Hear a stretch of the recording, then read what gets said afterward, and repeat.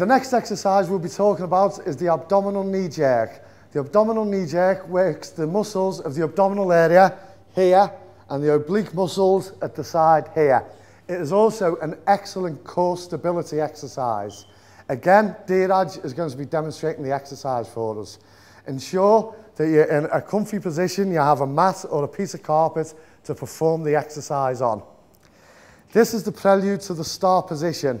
Dheeraj is seated, arms flat on the floor, legs extended, knees slightly bent.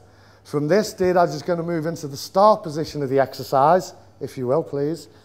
The feet raised about six inches above the ground, knees slightly bent, leaning back, weight on the arms, hands flat on the floor.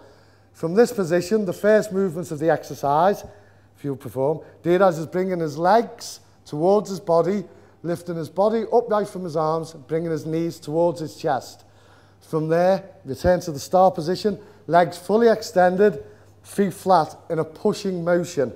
Again, start position, position one, and end position. So two motions. Remember to breathe on the first movements of the exercise, breathe out. Second movement, breathe in. Dheeraj, if you perform that exercise.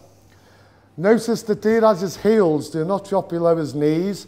His legs move in a pushing position and they do not touch the floor throughout the whole of the exercise.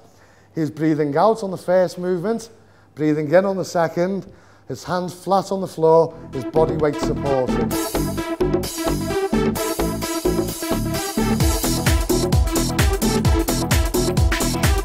can Perform this exercise up to 15 times.